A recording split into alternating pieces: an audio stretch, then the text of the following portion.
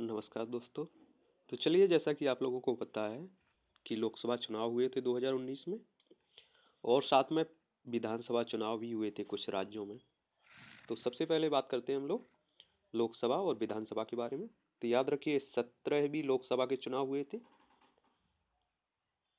सत्रहवीं लोकसभा के गठन के लिए आम चुनाव देश भर में 11 अप्रैल से 19 मई 2019 के मध्य हुए। लोकसभा चुनाव के साथ साथ आंध्र प्रदेश, अरुणाचल प्रदेश, उड़ीसा और सिक्किम राज्यों के विधानसभा चुनाव भी संपन्न हुए थे इसी समय।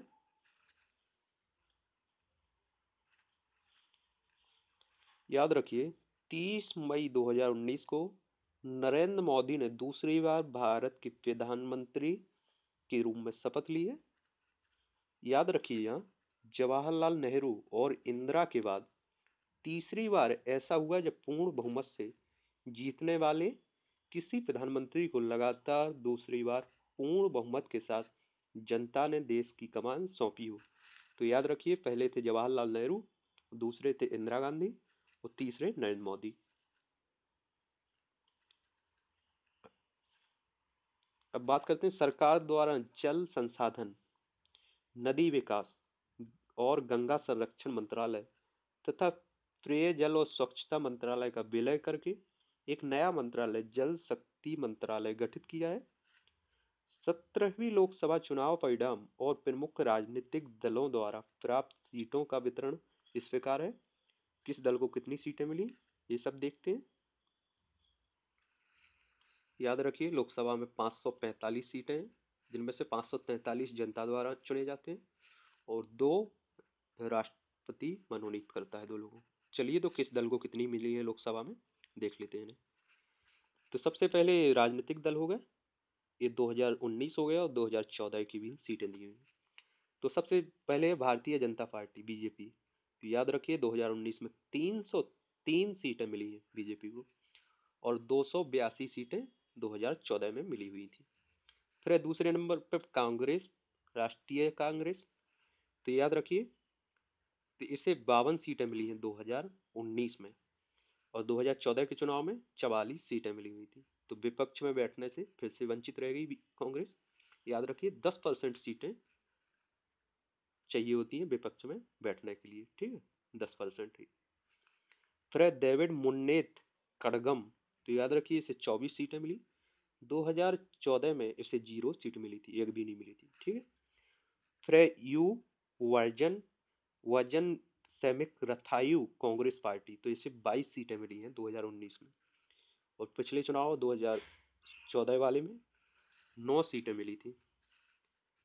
फिर है कांग्रेस, फिर है ऑल इंडिया तृणमूल कांग्रेस तो याद रखिए, इसे 22 सीटें मिली हैं 2019 में और 2014 में मिली थी चौंतीस सीटें।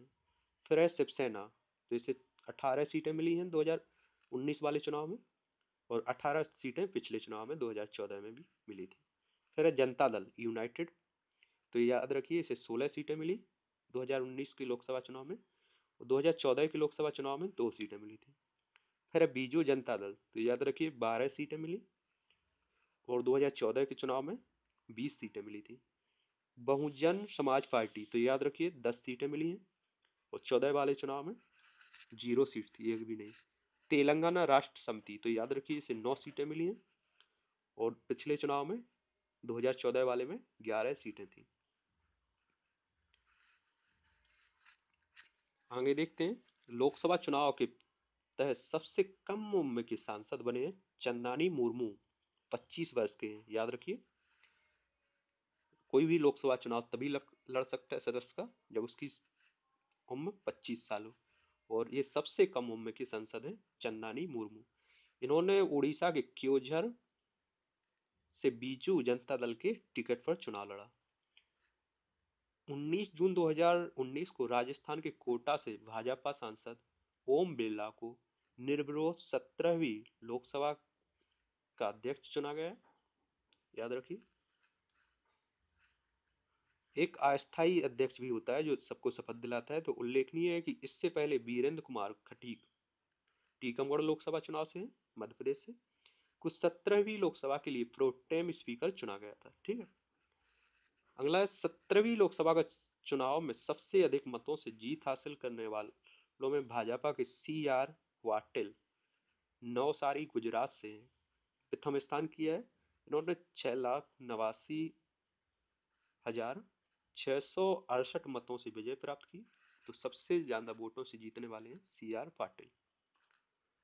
याद रखिए, लोकसभा चुनाव लोकसभा चुनाव में अब तक की सबसे बड़ी जीत भाजपा के प्रीतम मुंडे छह दशमलव छियानवे लाख मतों के साथ के अंतर से प्राप्त हुई थी। इन्होंने 2014 में बीड सीट महाराष्ट्र से उपचुनाव में यह उपलब्धि हासिल की थी। लेकिन इस बार 2019 सत्रहवीं लोकसभा के लिए सी आर पाटिल है। याद रखिए, छह लाख नवासी हज़ार छह सौ अड़सठ मतों से विजय प्राप्त की थी। अगला है उत्तर प्रदेश में। याद रखिए, ग्यारह महिलाएँ चुनी गई हैं लोक सत्रहवीं लोकसभा के लिए। और सत्रहवीं लोकसभा में कुल अठहत्तर महिलाएँ हैं। याद रखिए सत्रहवीं लोक सत्रहवीं लोकसभा में अठहत्तर महिलाएँ सांसद हुई हैं। ठीक सत्रहवीं लोकसभा चुनाव के साथ चार राज्यों, यथा आंध्र प्रदेश, अरुणाचल प्रदेश, उड़ीसा, सिक्किम की विधानसभाओं के चुनाव, याद रखिए, सत्रहवीं लोकसभा के साथ चार राज्यों, जो कि आंध्र प्रदेश, अरुणाचल प्रदेश, उड़ीसा, सिक्किम की विधानसभाओं के चुनाव भी संपन्न हुए। तो इसमें निर्वाचन आयोग द्वारा जारी आंध्र प्रदेश विधानसभा के चुनाव परिणाम के तहत जगन मोहन रेड्डी के नेतृत्व वाली युवजन युवजन सैमिक रथाई कांग्रेस पार्टी को सर्वाधिक सीटों पर विजय प्राप्त हुई।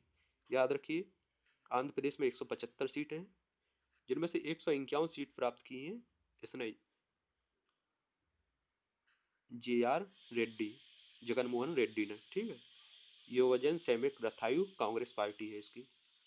जबकि एन चंद्रबाबू नायडू के नेतृत्व वाली तेलुगु देशम पार्टी ने मात्र तेईस सीटें प्राप्त की। ठीक है? याद रखें, तीस मई। कब?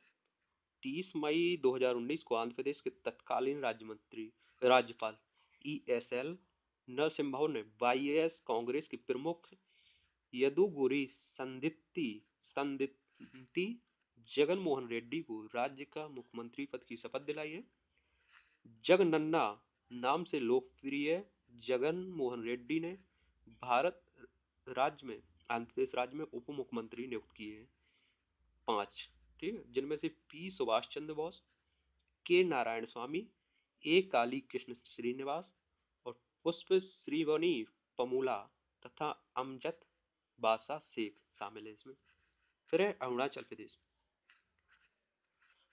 अरुणाचल प्रदेश में भारतीय जनता पार्टी सबसे बड़ी पार्टी के रूप में उभरी है।